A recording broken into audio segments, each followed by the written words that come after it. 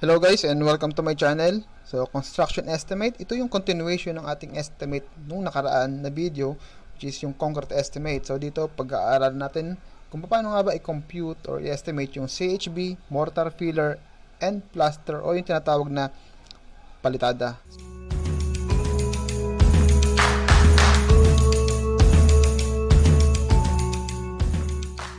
So let's start. So dun sa requirements and procedure, so same floor plan yung ating gagamitin and naglagay ako ng image ng hollow blocks na merong uh, width. Ito naka-reflect din yung hollow cell. So masonry, ito yung requirements natin, concrete hollow blocks, mortar pillar and plaster o yung palitada. So dun sa mortar pillar natin, ang ginagamit lang diyan cement and sand and yung structure na i-estimate natin, exterior wall and interior wall. So, yung exterior wall natin, ito yung nasa perimeter. And yung interior wall natin na 4 inch, ito yung wall doon sa CR. So, okay, i-compute muna natin yung area ng walls para ma-determine natin ilan ba yung requirements na CHB, cement, and sand. So, unahin na natin yung exterior wall under roof beam. So, ito yan. So, kailangan natin yung details ng floor plan, detail or section ng wall footing, and syempre yung elevation para dun sa height. Okay, para dun sa wall gross area under roof beam, ang gross area natin is perimeter multiplied by height. So, yung perimeter natin, uh, compute muna natin. So, ito yung 5.3. Less natin yung tatlong width ng column, which is yung column natin, ang size niya is 0.25. So, left and right, multiply by 2. Then, yung front and back natin is 5 minus 0.25. Dalawang 0.25 yan kasi dalawang column yung nasa likod natin at sa harapan. Then, multiply by 2. Then, perimeter natin, 18.1 meters. So, yung height natin, ito yung elevation natin, front elevation, 3.1.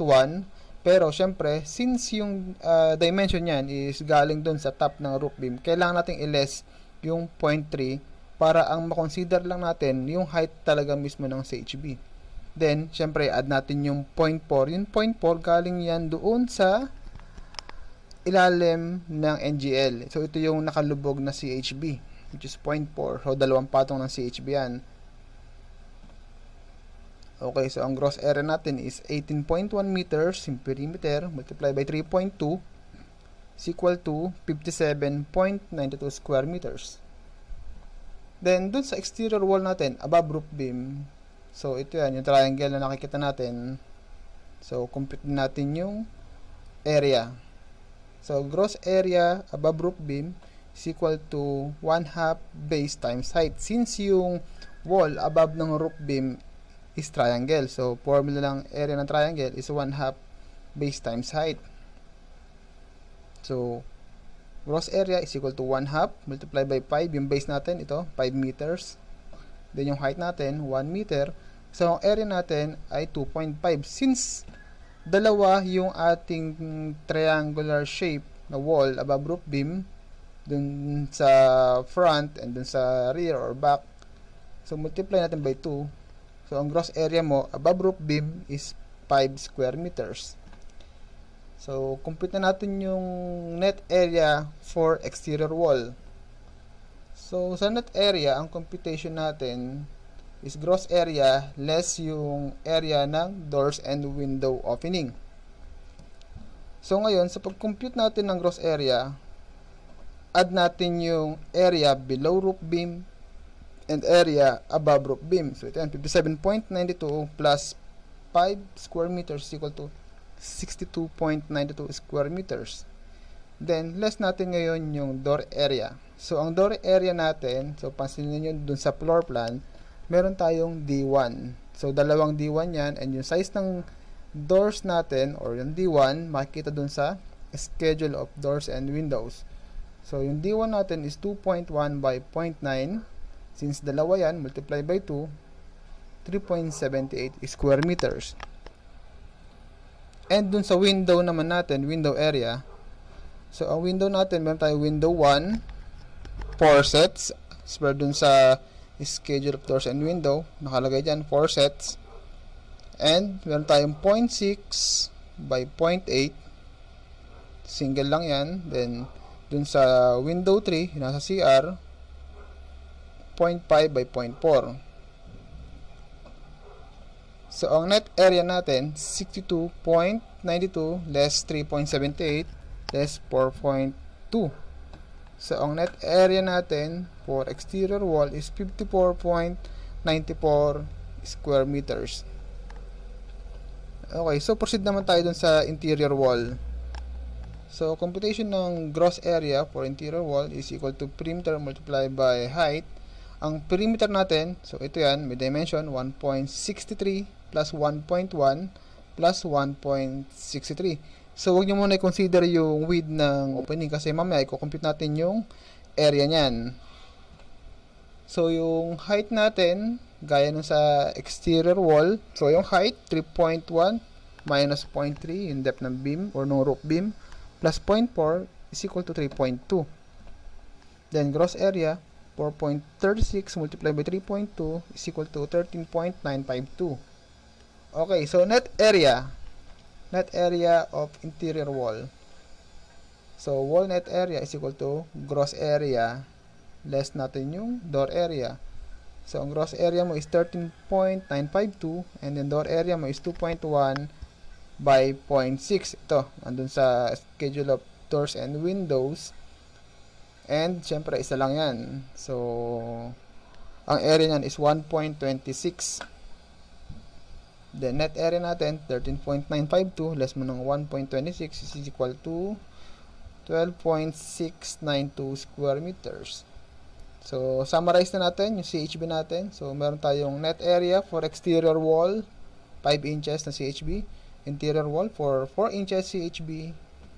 So, ito yung ating required quantity for CHB. 54.94 multiplied by 12.5 is equal to 686.75 or i-round up na natin 687 and dun sa 4 inches 12.692 multiplied by 12.5 is equal to 158.65 or 159 pieces ngayon, saan ba galing yung 12.5 na multiplier natin? So, dito galing yan. Since in every 1 square meter, ang papasok dyan na CHB is 12.5. So, kinumpute muna natin, natin yung total square meter or area na merong CHB, then multiply natin by 12.5 para mas mabilis. Okay, so doon naman tayo sa CHB mortar pillar.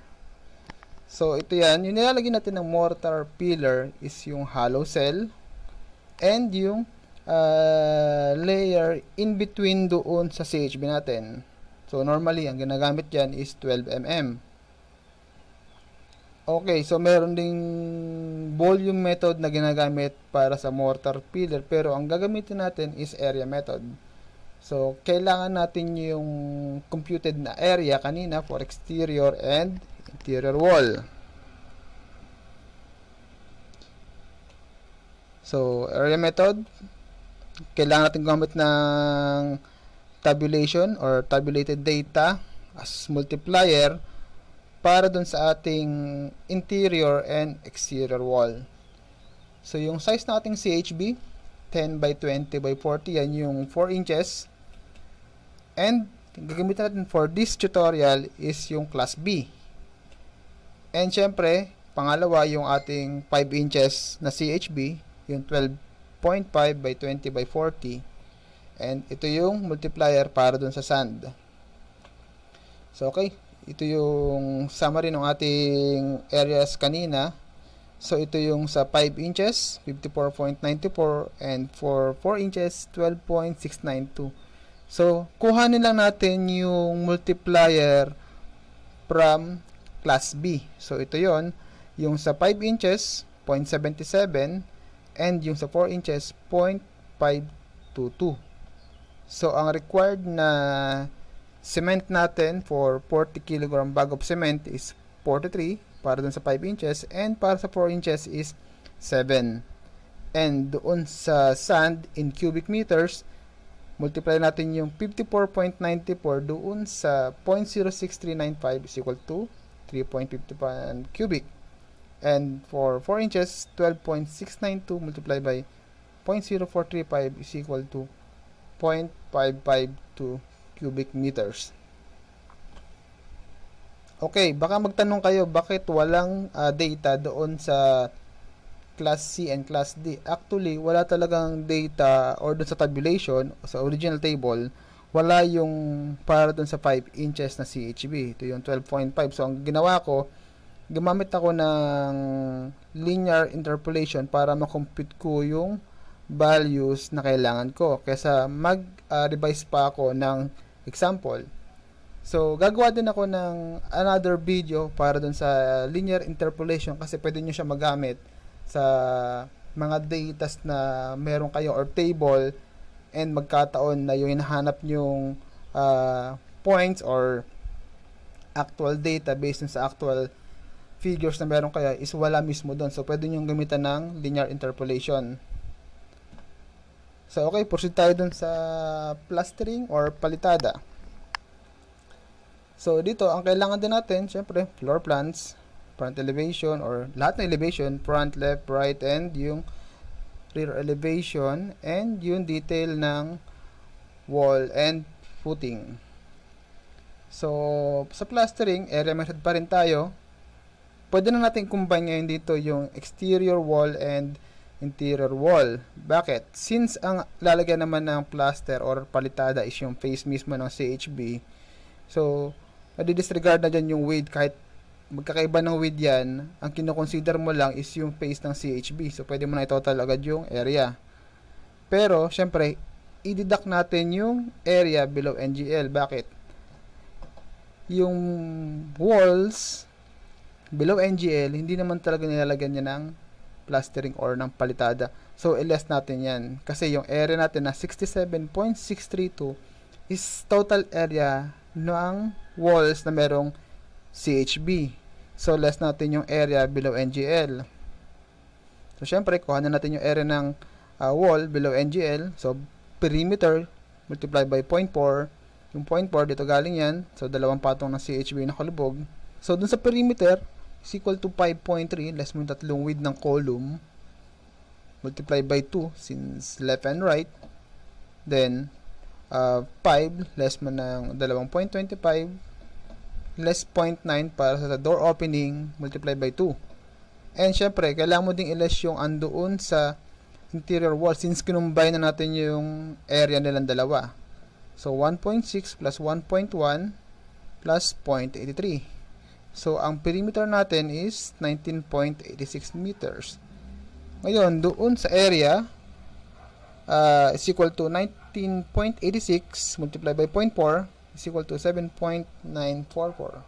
So, net area ng plastering natin is equal to gross area or total area nung wall na merong CHB. Ito yun, 67.632 less ng area ng wall below NGL. So, 7.944.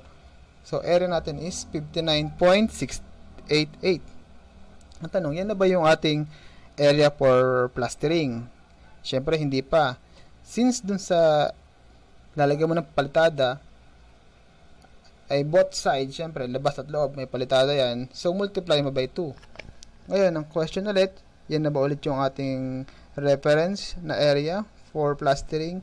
Hindi pa. Kasi, yung wall natin na kinukonsider dito kanina, lahat ng may CHB, Then, niles lang natin yung area below NGL. And, nagmultiply tayo ng 2 since both sides. Pero yung wall mo above roof beam, since nalalagyan ng palitada dyan, is yung labas lang. Dahil, yung nasa loob mo, covered naman na yan ng ceiling eh. So, dagdag gastos pa kung lalagyan mo ng palitada. So, mas maganda, iles na natin. So, area ng triangle, base times height, yung base mo is 5 meters and then yung height mo 1 meter multiply mo ng 2 since sa harap at likod ang area ng triangle natin is 5 square meter. So, i-less natin yan doon sa 119.376. So, ang actual net area natin is 114.376 square meters. Ayan, okay. Area method, since meron tayong available area, ito yung ating uh, tabulation for plastering. So, meron tayong mixture class na class A, class B, class C, and class D. And then, meron tayong multiplier for sand. Okay. So, gamitin natin yung class B. And yung thickness ng plastering mo is 12 mm.